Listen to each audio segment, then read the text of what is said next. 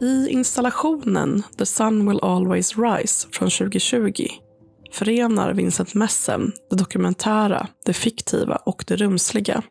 Omgärdad av textila modulväggar i de panafrikanska färgerna grönt, gult och rött visas konstnärens essäfilm Bara en rörelse.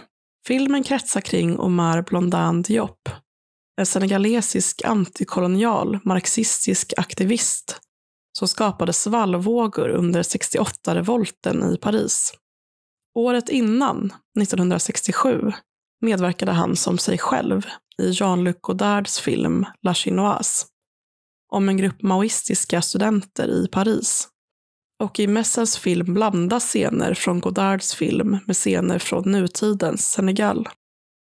Omar Diop dog endast 27 år gammal i fängelse 1973 i ett påstått självmord. Sannolikt blev han i själva verket svårt misshandlad och lämnad åt sitt öde.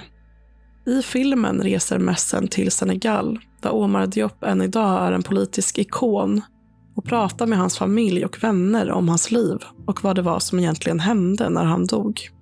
Bara en rörelse färdas genom lager av tid och plats och granskar globala ekonomiska och politiska verkligheter såsom Kinas nuvarande ekonomiska expansion i länder i Afrika som Senegal.